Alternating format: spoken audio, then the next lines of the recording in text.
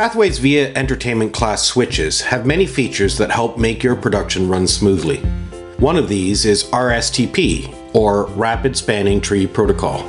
Let's look at how RSTP can ensure worry-free network connectivity in a temporary setup that is not like a typically managed IT system.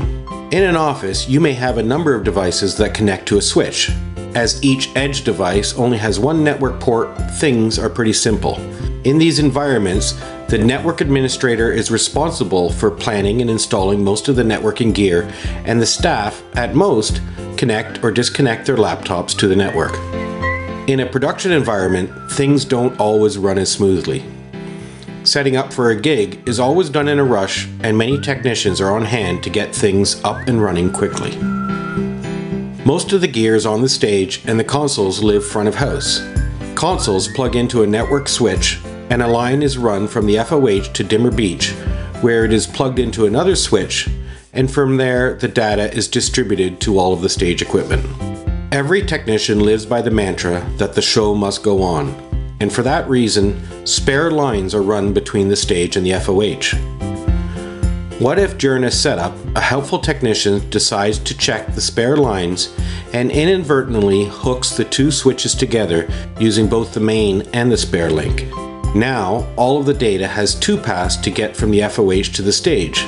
But moreover, the stage switch will feed the data back to the FOH switch, and you guessed it, now we have a loop which produces feedback. Within seconds, so much data is whirling around this loop that it overcomes the network, and both switches become saturated and cannot reliably get the data to where it needs to go.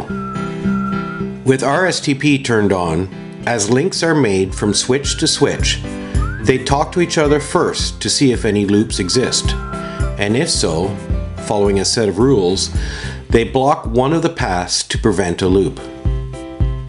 A two switch setup is an easy way to illustrate the simplest implementation of RSTP, but many productions have networks much, much larger, with many departments and technicians needing access to it. Accidentally creating a loop is not only possible, but quite likely. VIA's rapid spanning tree implementation is yet another reason why pathway connectivity is the choice of entertainment professionals around the globe.